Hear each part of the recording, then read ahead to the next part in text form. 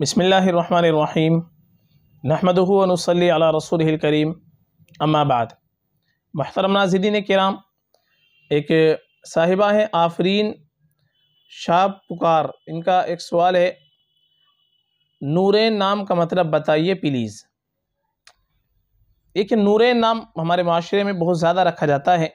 نورین جو لفظ ہے، یہ دراصل نور کا تثنیہ ہے. یعنی ایک تو نور ہوتا ہے اور نور کا تثنیہ یعنی دو، ڈبل، وہ ہوتا ہے نورین۔ تو نور کے معنی روشنی کے آتے ہیں، تو نورین کے معنی آئیں گے دو نور، دو روشنی۔ تو نورین نام اگر ہم لڑکی کا رکھنا چاہیں تو رکھ سکتے ہیں۔ معنی کے اعتبار سے نورین نام رکھنے میں کوئی خرابی نہیں ہے۔ معنی کے اعتبار سے صحیح نام ہے، یہ بالکل رکھ سکتے ہیں۔ باقی زیادہ بہتر ہمارے لیے یہ ہے کہ ہم صحابیات کے نام رکھ لیں، ازواج متحرات کے نام رکھ لیں اور نیک خواتین کے نام رکھ لیں۔ یہ اور زیادہ بہتر ہے۔ باقی اگر نورین نام رکھنا چاہے تو نورین نام بالکل رکھ سکتے ہیں۔ نورین نام میں کوئی خرابی نہیں ہے، معنی کے اعتبار سے یہ بھی اچھا نام ہے۔ فقط واللہ عالم۔